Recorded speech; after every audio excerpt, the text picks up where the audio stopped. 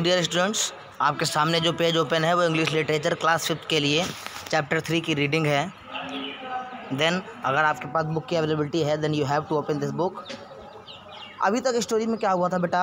जो डायना और उसके जो फ्रेंड्स थे, वो एक पॉइजनस केक लाते हैं। वहाँ पे उनको नहीं पता होता है कि दैट इज़ पॉइजनस फिर उनको पता चलता है कि वो पॉइजनस होता है तो उसको वो बरी इसको गाड़ने का प्रयास करते हैं। देन आगे देखते हैं चैप्टर में क्या होता है। Diana I have seen I spit back in our tent मैंने एक फावड़ा देखा है पीछे टेंट में। Let's leave the cake here cake को यहाँ छोड़ देते हैं and go and get it जाओ और उसे लेकर आओ।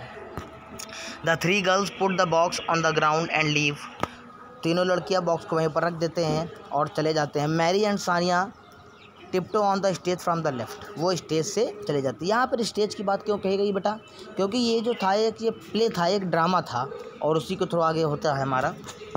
Mary I saw them going the way मैंने उनको जाते हुए देखा है। लेट्स कीप फॉलोइंग देम उनको पीछा करते रहो and see what they are up to और देखते रहो कि वो क्या कर रहे हैं। Sania pointed to the box box की तरफ़ इशारा करते हुए हे वेट रुको। What is this box doing here ये बॉक्स यहाँ क्या कर रहा है? I saw one of them carrying it मैंने उन्हें देखा है कि ले जाते हुए देखा। लेट्स चेक इट उसे चेक करो। They open the box and take the cake out उन्होंने बॉक्स को चेक किया। खोला और केक को बाहर निकाला, Mary.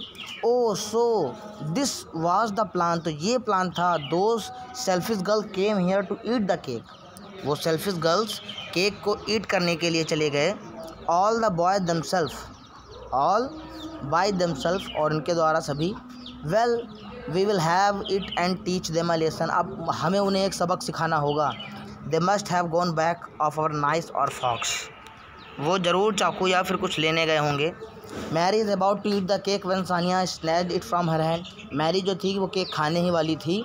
तब तक सानिया उनके हाथ से स्नैच मतलब छीन लेना होता है। Sania divided the cake into half so we can both it is simultaneously cake को डिवाइड करो, हम सब साथ में मिलकर ही इसको खाएँगे। They are about to eat the cake but stop out of it वो खाने वाले होते हैं, लेकिन रुक जाते हैं Mary. I need a drink of water before I can have this मुझे इसे खाने से पहले थोड़ा सा पानी पीने की ज़रूरत है। Let's go the brook we came across on the way and have some water उस रास्ते के पार जाओ और वो थोड़ा सा पानी लेकर आते हैं।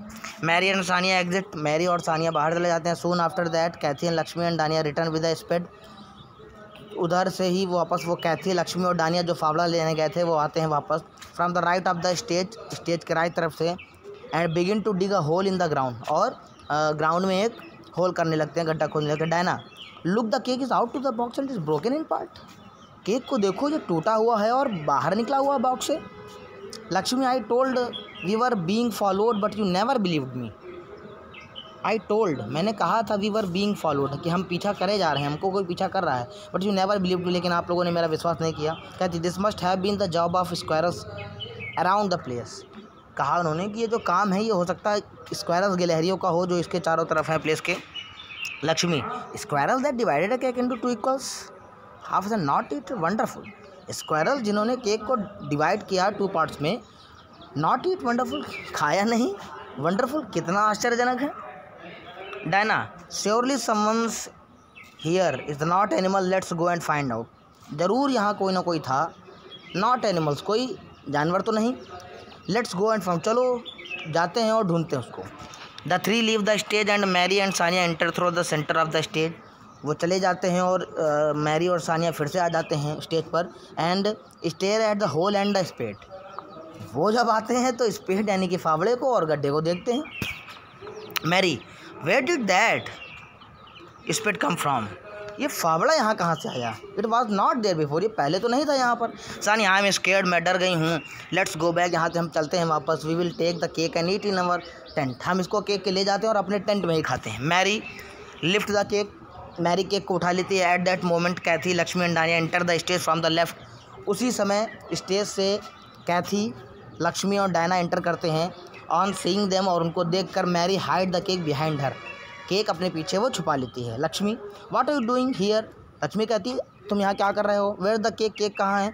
Don't tell me you ate it ये मत कहना कि तुमने उसे खा डाला है। मैरी ओ यस हाँ। We ate it and enjoy it मैं हमने इसे खा डाला है और इन्जॉय कर रहे हैं। It's a night lesson for you three for planning to not to share what you have got क्योंकि ये आप लोगों का जो प्लान था कि कुछ भी खा लें और ना शेयर करें, इसके लिए सबक सिखाया मैंने। कहती ओ my God Mary you all right अरे भगवान, मैरी, क्या तुम ठीक हो? मैरी?